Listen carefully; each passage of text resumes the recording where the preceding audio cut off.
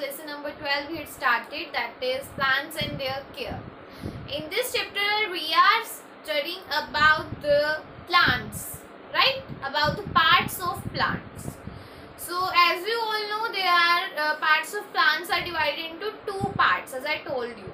In the last session, I told you about the one part. In the next and the next part is remaining which we will do today okay so and also i told you about the functions of root so let's take a quick recap of that and then we will continue this chapter. So students as you all know there are a lot of parts of plant. Their main part of plants are like stem leaves flowers fruits buds. So these are uh, these steps uh, these parts include in the shoot system shoot system okay?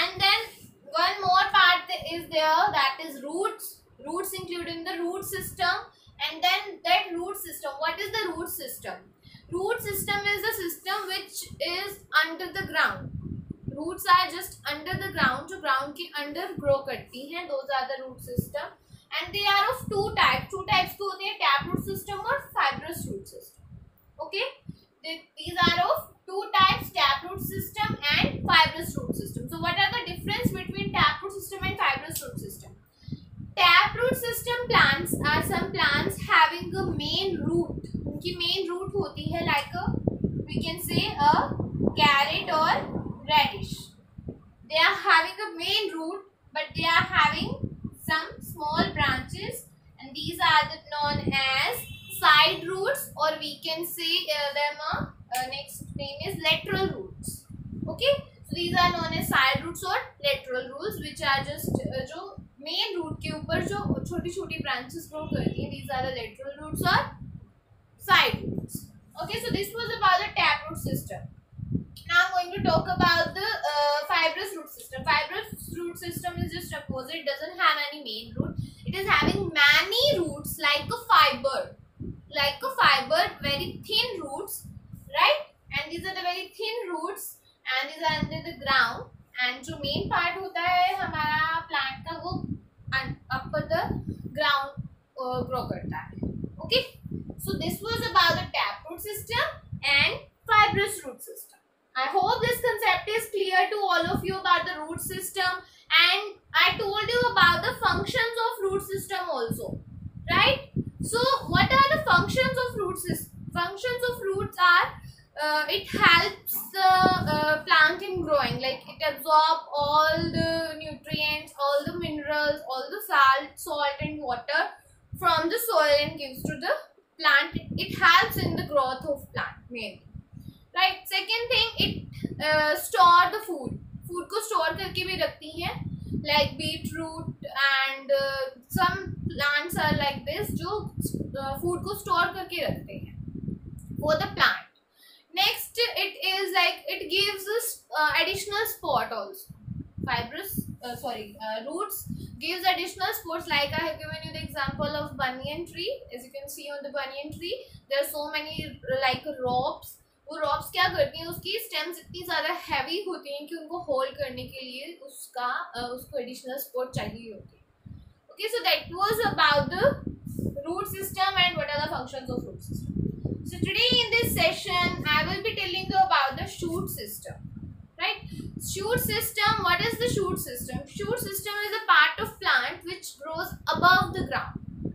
As I told you root system, about the root system, root system is the part of plant which grows just uh, under the ground right and now about the shoot system shoot system is a part of plant which grows above the ground जो ground के ऊपर grow करते हैं consists main parts main plants uh, main parts of plants are the stem leaves flowers and fruits so now i will be telling you about each and everything in detail and one more thing i want to tell you about the flowers i will not give you a proper description in this chapter next chapter is of flower we will do a proper description of flower in the next chapter.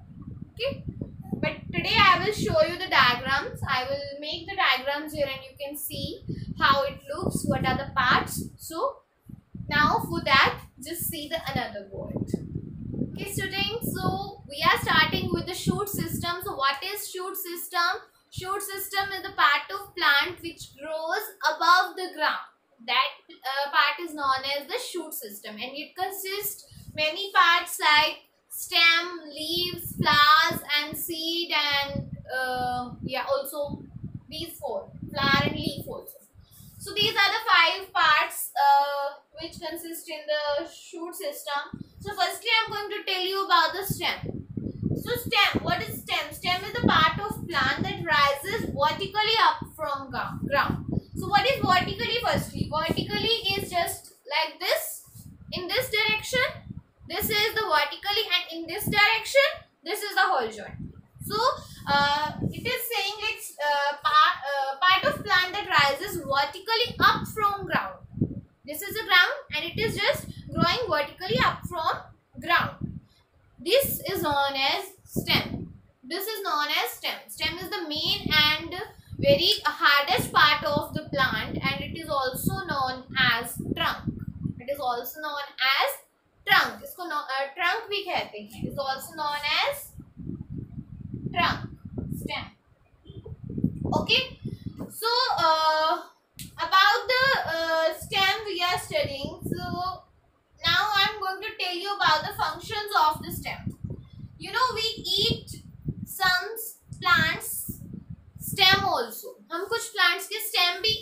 हैं that I will be telling you so what is the function of plant uh, function of stems function of stem is it carries water and minerals or any salt from the roots and gives to the leaves जो भी सारे minerals होते हैं जो भी salt जो भी nutrients होते हैं वो सारे सॉइल से रूट से कलेक्ट करके ये किसको देते हैं इनका what is the work of stems it just carries these things and it send it to the किनको देते हैं? लीव्स को. So this is the first function now what is the second function of stem it carries prepared food जो food food कौन बनाता है? Plant का. Leaves leaves make the food for plant we can say leaves are the kitchen of plant so leaves जो है food बनाती हैं जो कैरीज कौन करता है उन्हें stem stem carries the prepared food and it gives to the other parts of plants जो भी पार्ट के दूसरे प्लांट के जो भी दूसरे पार्ट्स हैं उनमें उन तक कौन पहुंचाता है सारा खाना the work of stem this was the second function now the third function it stores food in some plants stems are just uh, in some plants stems are very helpful in storing the food and these are known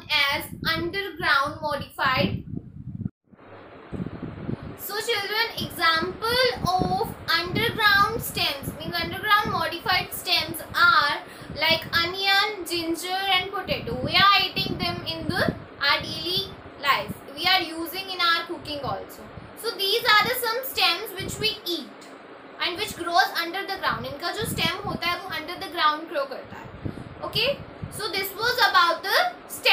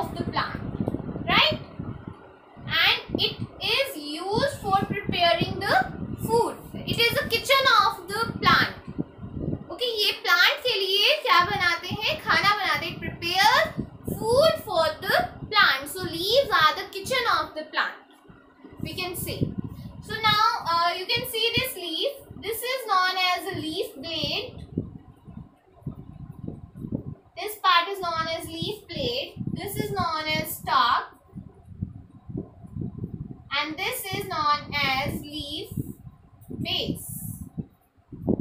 leaf base. And these leaves are just connected with the branches of the plant. Okay? So this was about the leaf. Next is about the fruit. Fruit like i'm drawing here an apple. I just cut it down from the center i cut it down from the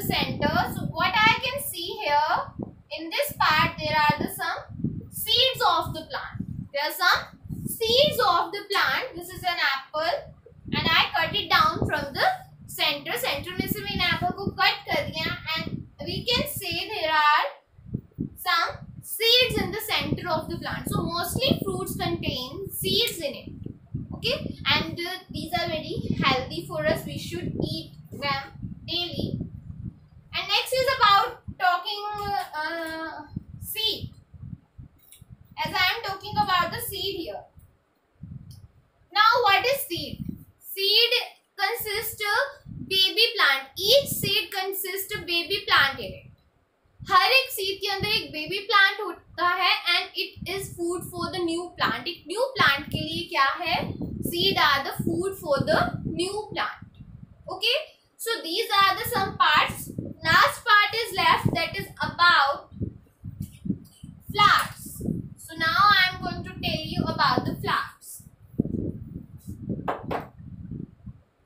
flowers are the very beautiful part of the plant right flowers are the very beautiful part of the plant so जब भी हम कोई plant देखते हैं अगर उसके ऊपर flowers है तो हम अट्रैक्ट हो जाते हैं हम देखने जाते हैं उनको राइट जिनके ऊपर ब्यूटीफुल फ्लावर्स होते हैं. So most beautiful part of plant is its flower main function of flowers is to produce fruits and seeds जो मेन फ़ंक्शन होता है uh,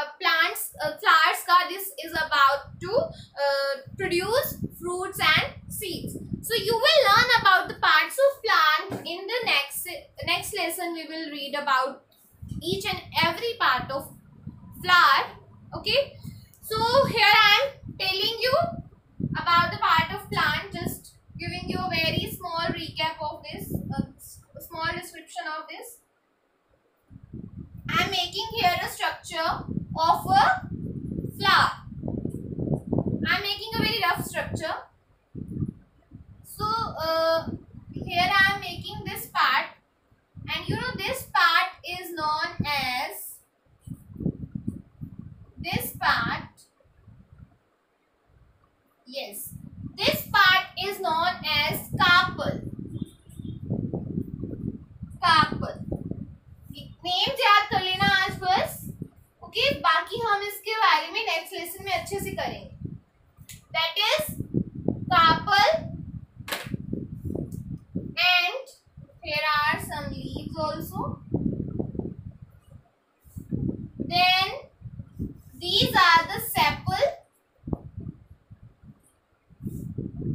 okay these both are the sepal this part is carpel then here with this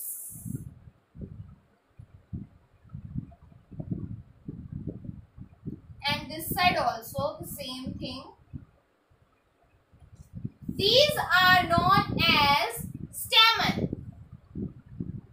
These are known as stamen. This